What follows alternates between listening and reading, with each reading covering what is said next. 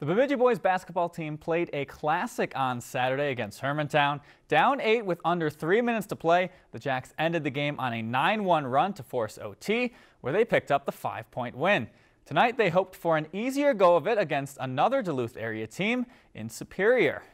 But the Jacks once again found themselves in a hole, trying to dig themselves out. Superior started out shooting hot. Elijah Owens connects from beyond the arc to put them up 31 to 20. But a few minutes later, Jacks get out in transition. Jacob Bieberg slides his way through the lane for the bucket.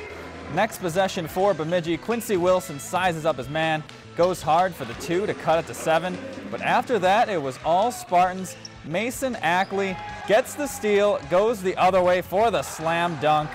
The Jacks suffer just their second loss of the year, 81 to 60.